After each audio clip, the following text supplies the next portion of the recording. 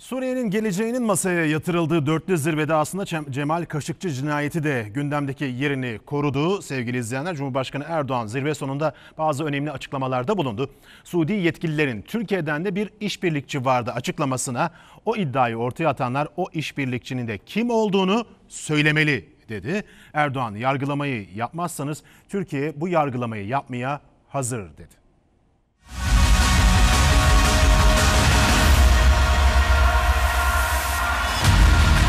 Bu 18 kişiyi Türkiye'ye kimler gönderdi?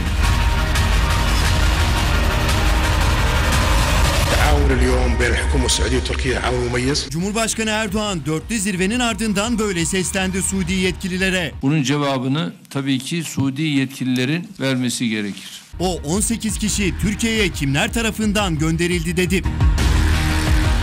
Cinayetin üzerinden tam 26 gün geçti ama Suudi gazeteci Cemal Kaşıkçı ile ilgili sır perdesi tam olarak aralanamadı. Suudi yetkililer Kaşıkçı öldürüldü dedi. Ancak neden ve kimler tarafından öldürüldüğüyle ilgili net bir açıklama yapılmadı. Soruşturma sürerken konsoloslukla ilgili her geçen gün yeni bilgiler, yeni görüntüler ortaya çıkmaya devam ediyor. Son olarak Suudi konsolosa ait araçla konsolosluğa ait bir başka aracın olayın ardından oto kuaföründe detaylı bir şekilde temizlendiği ortaya çıkmış, oto yıkama çalışanları sorgulanmıştı.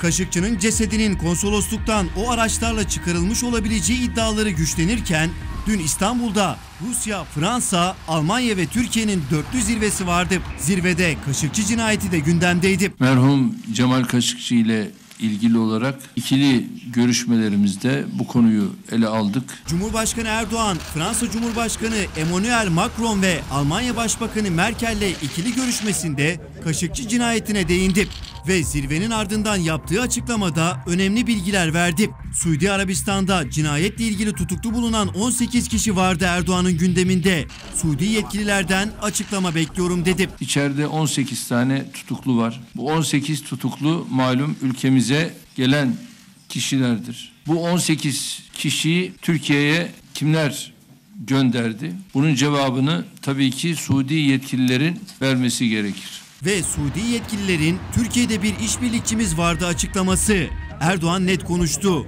Kim dedi. Biliyorsunuz daha sonra bir açıklama Suudi Arabistan'ın yetkili mercilerinden geldi. O da Türkiye'deki yerli işbirlikçilere cesedin teslim edildiğine dair veya onlarla farklı bir işbirliğine girmek suretiyle böyle bir adımın atıldığı söylendi. O zaman bu yerli işbirlikçi kimdir? Bunu da yine bu açıklamayı yapan kişi veya kişilerin ortaya koyması gerekmektedir. Erdoğan yargılamayı yapamıyorsanız biz yaparız dedi. suçun işlendiği yer İstanbul'dur. Dolayısıyla Suudi Arabistan bu yargılamada eğer kendileri bu işi yapmayacaklarsa bu yargılamayı Türk yargısı olarak bizim yapmaya hazır olduğumuzu Adalet Bakanlığımız vasıtasıyla kendilerine bu çağrıyı yazılı olarak resmi kanallardan da yapmış bulunuyoruz. Almanya Başbakanı Merkel Avrupa'nın gereken desteği vereceğini söyledi. Fransa Cumhurbaşkanı Macron ise Türkiye'nin seferberliğinin anlamlı olduğunu ve cinayeti kınadığını söyledi.